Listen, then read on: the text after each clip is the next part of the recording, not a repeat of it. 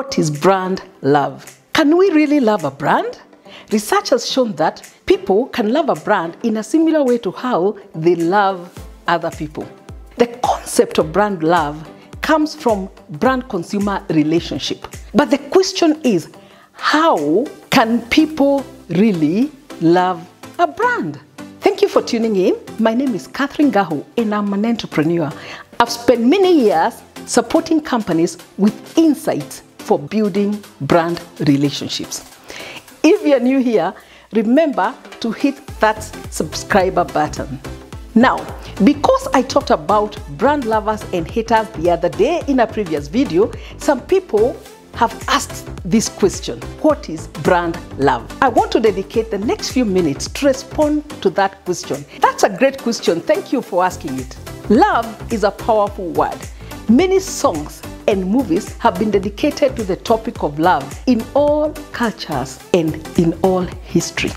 So people wonder whether it's really possible or even appropriate to consider the word love in relationship to a brand. But let's think about the top football club brands.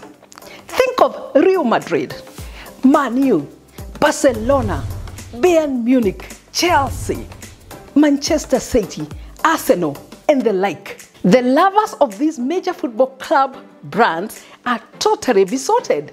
You can tell they love the brand. I see it in my family during football season. The fans of these football clubs have contributed to making these some of the most valued brands in sports worldwide, with values ranging from $1.4 billion to $1.8 billion for the top five clubs in 2019.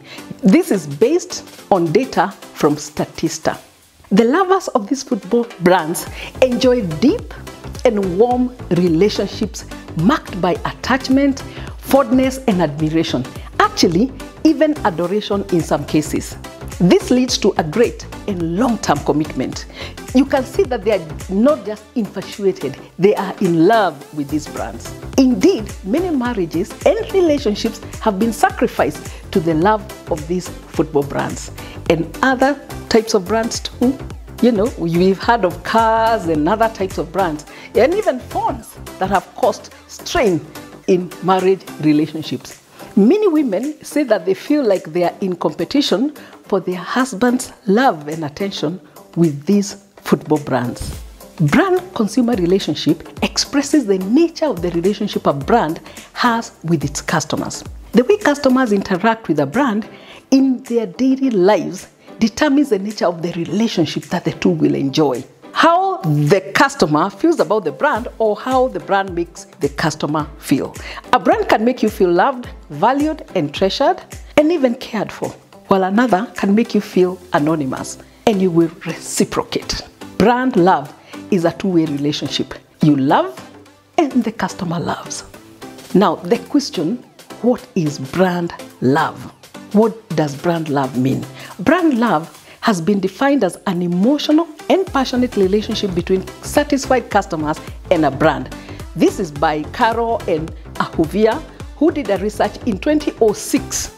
My own definition of brand love is the emotional attachment, passionate admiration, and desire a customer feels for a brand.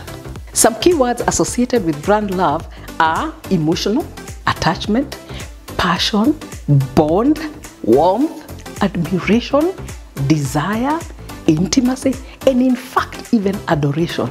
These are all feelings people have when they truly value a relationship with a person or a brand.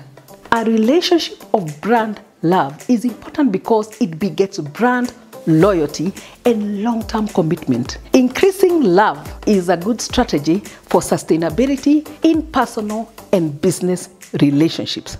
You know that we talk about customer brand relationship in relationship to brand personality, arguing that a brand has human like characteristics. And that's why we are able to say this brand has this personality, this brand has that personality.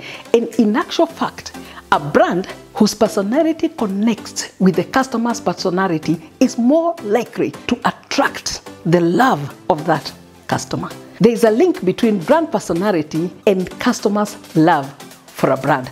People tend to love brands that have similar personalities with theirs and actually carry also similar values with the values that they hold dear. I hope that the next time you hear the term brand love and brand lovers, you will not be so surprised or taken aback. Thank you for watching this video. Remember to subscribe, comment, and like it so that we can bring you more like it. Before I close, I have a question for you. What action will you take in the next few days to build on your love relationship?